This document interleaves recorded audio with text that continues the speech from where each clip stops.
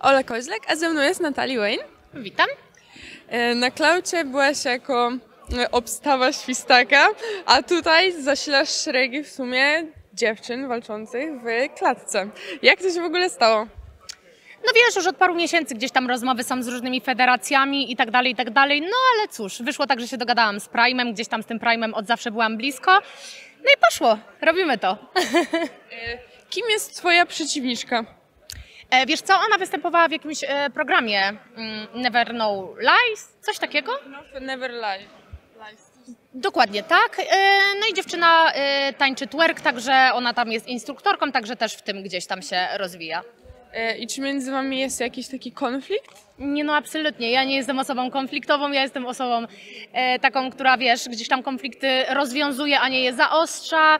E, wiesz, raczej jestem e, w porządku i miła dla ludzi, dlatego no nie, nie, nie uważam, żebyśmy gdzieś tam się zaczęły kłócić, choć wiadomo, no różne emocje przychodzą w różnych sytuacjach, e, różnie obie możemy zareagować na różne sytuacje. No zobaczymy, jak to wyjdzie, natomiast no mówię, na, na dzień dzisiejszy jestem nastawiona pozytywnie.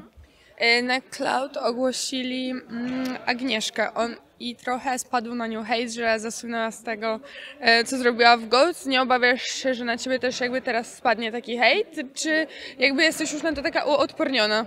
Wiesz co, ja mam hejt na co dzień, także jestem na to uodporniona, tylko wiesz, ci ludzie siedzą tam, piszą te komentarze, a ja jestem tu. Tu. Oni tu nie są. Oni dalej siedzą i piszą te swoje, kurwa, przepraszam, śmieszne komentarze, nie? I tak samo jest z Agą. Na nią spłynął hejt, na Lalunę spłynął hejt, na mnie spłynął hejt. Wiesz o co chodzi? Na wszystkich spływa gdzieś tam ten hejt i uważam, że bez hejterów to też e, tak szybko wszystko by się nie rozchodziło, a hejterzy jednak e, niosą dalej. E, no i cóż, no i tyle, nie? No i dziewczyna pokazała, co pokazała, no ale jednak jest w tym klaucie, tak? To ją wzięli, a nie ludzi, którzy jej piszą, że a, zasłynęłaś z tego, że pokazałaś cycki, nie? No. Okej, czyli psychika jest ogólnie dobra, więc głowa nie powinna cię zawieść. A treningi, długo trenujesz e, i w jakiej formule w ogóle będziecie miały pojedynek? E, zaczęłam trenować e, tydzień temu, także pełny tydzień już trenuję. Bardzo mi się spodobało. Ogólnie to jest moja pierwsze, pierwsza styczność e, ze sztukami walki, jest super. Mega mi się podoba i prawdopodobnie to będzie MMA. E, czujesz się lepiej w stójce czy w parterze jednak? Na ten moment ciężko mi jest powiedzieć, bo to jest dopiero tydzień, więc wiesz, ja się dopiero uczę. Zobaczymy. Zobaczymy. Okej, a masz już jakiś taki mniej więcej na przykład plan e, na pierwszą konferencję? W ogóle myślisz o tym? Przygotowujesz się? Chcesz zrobić jakiś taki performance, czy będziecie takie spokojne? Czas pokaże. Yy, nawet jakbym planowała, to ci nie powiem. To będzie niespodzianka, ale to na pewno wiesz, nie wyskoczę do niej z ryjem, na pewno nie będę jej tam obrażać, cisnąć czy coś takiego, no bo wiesz, no normalny człowiek tak samo jak i ja, więc, więc myślę, że poprowadzimy to na jakimś e, kulturalnym poziomie. Zobaczymy, czas pokaże. Na razie gdzieś tam emocje we mnie e, buzują, no bo wiesz, pierwszy raz w życiu wyszłam do tak dużej publiki, gdzieś tam musiałam się pokazać przed kamerami. E, to nie to samo, co przed kamerami w domu, jak nagrywam film. E, także no na razie nie myślę, nie? A jak chodzi o pojedynek, e, który nawet chyba trwa teraz, e, dziewczyn, Patrycji i Oli, e, obstawiasz, która z nich wygra? Wiesz co? Może być tak, że wygra Ola, bo e, Ola ma jakieś tam doświadczenie, tak? Ona gdzieś tam już za granicą walczyła i tak dalej, więc wy... no ja, jako osoba totalnie nieznająca się, myślę, że osoba z doświadczeniem ma większe szanse, nie? Nie wiem totalnie, e, natomiast jeśli chodzi o Patrycję, jak ona wygląda, jeśli chodzi o walki i tak dalej, no chociaż też trzymam kciuki, no która wygra, no to też będzie dobrze. Ani do jednej, ani do drugiej nie jestem negatywnie nastawiona, bo nie znam, nie oceniam, także ja do wszystkich pozytywnie. No właśnie, e, bo gale i ogólnie e, gale się jakby, czyli no, freak fighty z gali i z konferencji. Na konferencjach powinno być trochę dymów. Ty jesteś, jak mówisz, osobą, która jak, no jest miła. Nie sądzisz, że to będzie trochę nudne, bo też e, zauważyłam, że coraz więcej osób właśnie, e, na przykład Laluna też się chciała pokazać, tak odświeżyć ten swój wizerunek i go poprawić, że e, zaczęła się zachowywać okej, przynajmniej na tej konferencji, bo już na e, roście mieli dymę, co nie? I nie boisz się właśnie, że to będzie tak, takie nudne dla widza? Ale wiesz, e, merytoryczna rozmowa też niekoniecznie musi być nudna. Nie trzeba się wyzywać, e, szarpać i tak dalej, żeby były emocje. No bo rozmowa też jest okej. Jednak żyjemy w cywilizowanym świecie i no nie jesteśmy małpami, żeby gdzieś tam tylko się wyzywać, bić, drzeć i tak dalej. No bo jednak e, no jednak powoli wszyscy od tego też odchodzą. Nie oszukujmy się też, to oglądają młodsi ludzie, dzieci i tak dalej, i tak dalej, więc y, uważam, że jakiś poziom powinien zostać zachowany, bo później wiesz, e, ci ludzie idą do szkoły, gdzieś tam na podwórko i tak dalej, no i naśladują te dziwne zachowania, tak? Dlatego uważam, że bez dymów niekoniecznie nudno. No ale z drugiej strony też e, widzowie, przynajmniej jak były początkowe, e, wszystkie w sumie,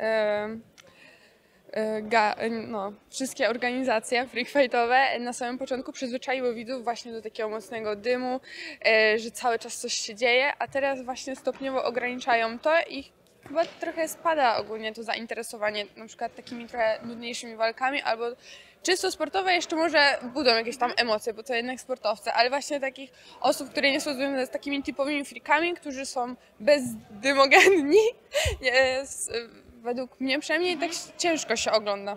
Nie No uważasz? tak, no ale nie mnie to oceniać, wiesz, ja na siłę e, sztucznie nie będę pompować dymów, ja po prostu jestem sobą i wiesz, no wolę czuć się komfortowo w swojej skórze niż niekomfortowo w jakiejś masce, nie? No bo gdzieś tam jak człowiek zakłada maskę przez jakiś czas, no to gdzieś tam ta maska w końcu pęknie i jest wielkie wow, no przecież ona nie jest sobą, a ja mam zamiar być sobą, taka jak jestem na tych wywiadach, jak tu o wszystkim opowiadam, no zobaczymy jak to będzie, no. Okej. Czy zbierasz ogólnie jakieś brudy na swoją przeciwniczkę? Nie no, absolutnie, no gdzie? No słuchajcie, tak jak mówiłam, ja nie jestem osobą, która ma zamiar oceniać czyjeś życie, wyciągać mu jego brudy, robić jemu wstyd, wyzywać, szarpać. No, no to nie jest dla mnie, wiesz o co chodzi. Mnie takie rzeczy nie nakręcają, absolutnie, nie? Bardziej niesmak pozostawia niż jakieś tam nakręcanie się, nie? A myślisz, że ona jest w stanie jeszcze wyciągnąć coś z twojego życia, co może na przykład powiedzmy przedstawić na konferencjach? Słuchajcie, no chyba już nic więcej mi nie wyciągnie niż to, że robię filmy dla dorosłych. No bo cóż może być gorszego w Polsce niż e, pokazać się nago, nie? Myślę, że no nie i myślę, że no nie ma po co też. No, Nie trafi już jakby w bardziej czuły powiedzmy no, punkt. no, no, no nie. Chociaż to, że pokazuje się nago, to też nie jest mój czuły punkt.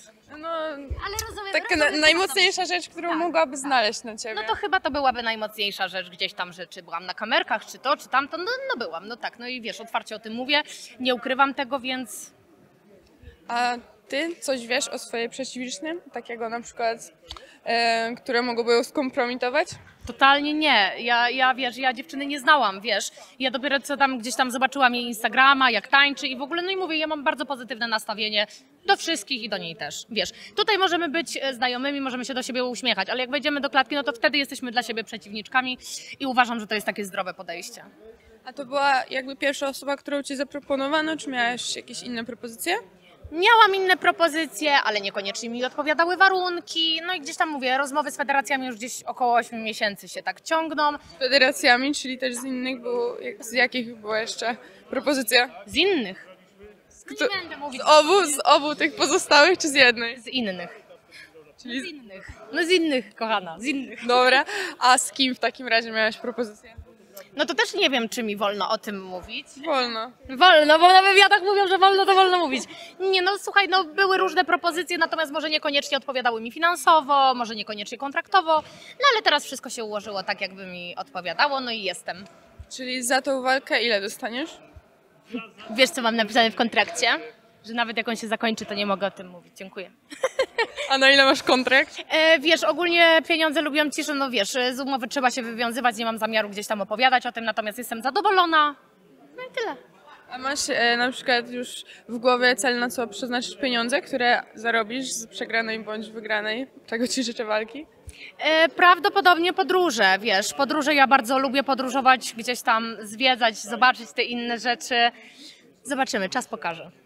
Okej, no ja ci życzę powodzenia i dziękuję ci bardzo. Bardzo dziękuję, miło było poznać.